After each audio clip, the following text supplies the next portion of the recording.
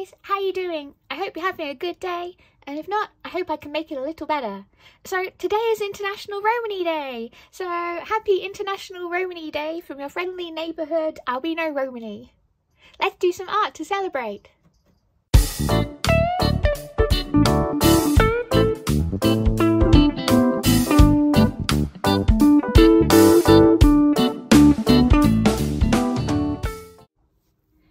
I'm going to use this book, inspired by Romany folklore, to find a subject to draw. The stories are kind of mixed. Uh, some you'll be familiar with, and some are just like really strange. Uh, but the one I really fancy drawing a scene inspired by is The Dog and the Maiden, which is about a young Romany and her friend who is a white dog and might actually be a prince as well. so I've done some sketches already, so I could like practice how to draw dogs and outfit. And now I'm going to draw the proper picture.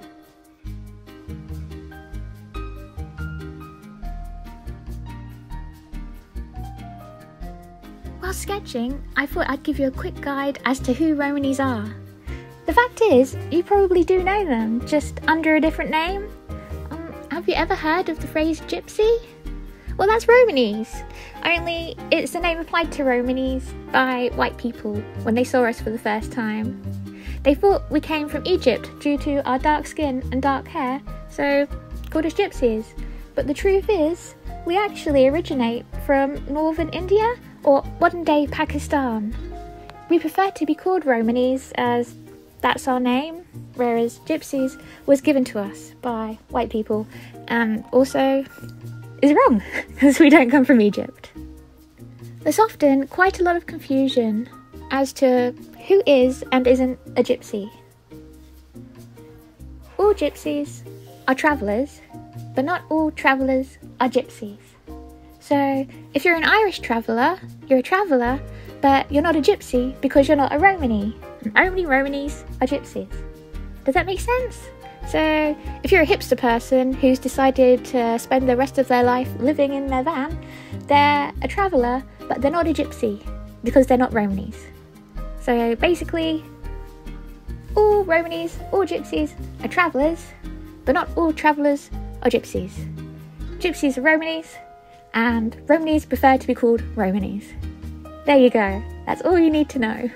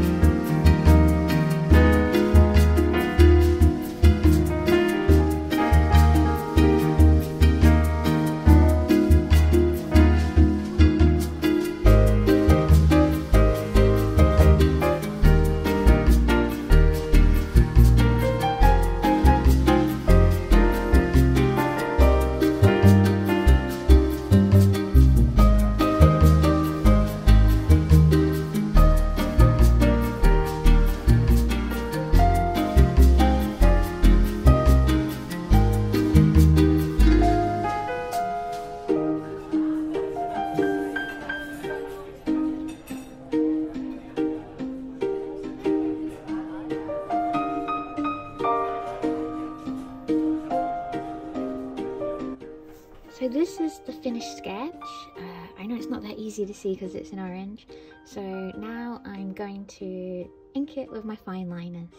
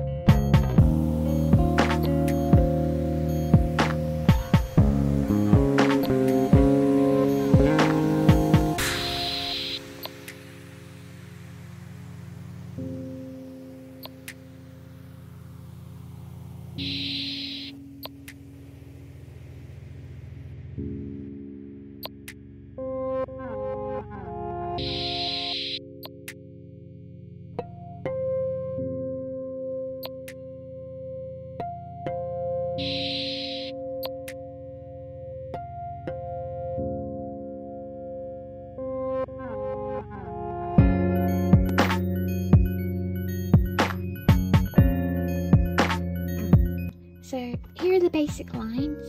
Um, I am going to add more once I've put colour on top. Um, I'll probably use paint markers to add gold and decoration to the dress. But now I'm going to put a base colour and the shading down with alcohol markers.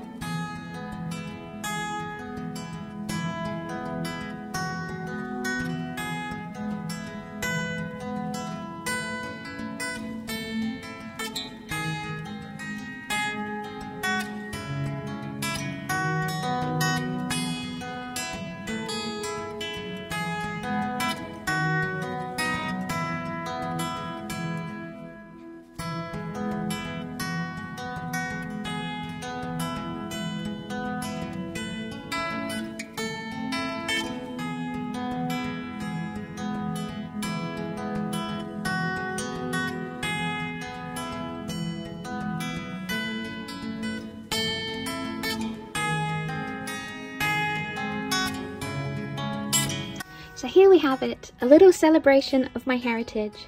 Would you like me to walk you through the outfit? It's a traditional European Romany outfit. As you can see, she's wearing a cross. That's because Romanis usually adapt to the religion of whichever country they're in. So because she's European, she's Christian.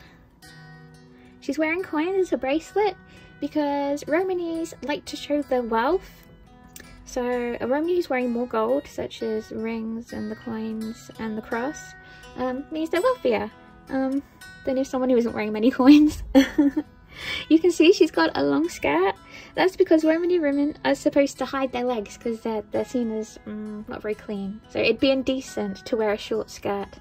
But your top, you can show as much top as you like. and this is her headscarf, or a diklo. Um, traditionally, it is worn to show a sign of how available you are to the opposite sex. But like young girls can wear them too. I think it um, goes back to where Romanis originated from, so North India or Pakistan, where women wore headscarves after a certain age. So, there you have it. Let me know what you like most in the comments. Oh, and if you have any questions about Romani culture, please also feel free to ask. Obviously, I'm just speaking for myself, not the entire Romani um, community. But yeah, I'd love to guide you if you have any questions. If you enjoyed this video, I'd love it if you gave uh, a like, a thumbs up, if you started to follow, turn notifications on, blah blah blah, all of that, all of that. Share the video so that everybody can learn a bit more about the positives of the Romani culture. If you want to follow me on Instagram, I'm at Enchanted Violin and on TikTok at Enchanted Violin. You can find the links in the box below. You can also find links to my online comic companions. I'll see you next time.